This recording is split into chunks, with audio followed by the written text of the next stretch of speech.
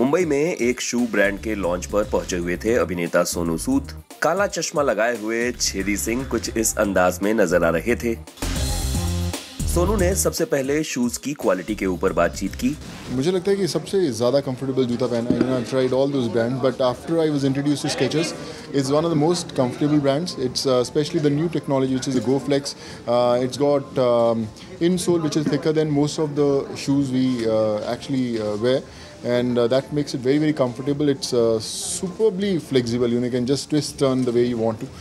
Um, yeah you can, you, you, can you can see it you know. You can twist and turn wherever you want it you know. So i think that makes it, uh, so it the moves most with your legs. move, move at the end of the day it moves with your legs. And it's important yeah. so it's important to move your legs also कोई भी खिलाड़ी हो या इंसान, अगर shoes अच्छे ना हो तो उसकी परफॉर्मेंस पर असर पड़ता है। और इसके लिए क्या इनिशिएटिव लेने चाहिए, इसके बारे में भी सोनू सूद ने बताया।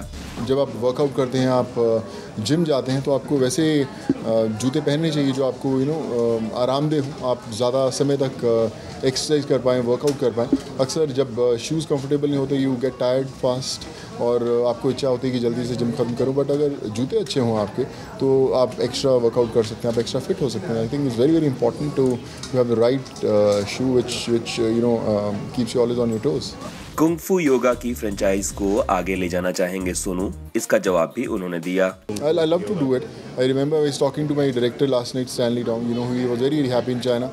So, and he said, you know, we're planning to have Kung Fu Yoga too. I think this should be a series which should uh, keep on coming again and again. And uh, I, I, I hope it happens soon. Well well, Sonu Sood की पिछली film multi starrer Kung Fu Yoga जिसमें जैकी चन भी मौजूद थे। अब देखना यह खास होगा कि आने वाले दिनों में वो कौन से प्रोजेक्ट्स करते हैं। बॉक्स ऑफ़िस पर धमाका मचाते हैं।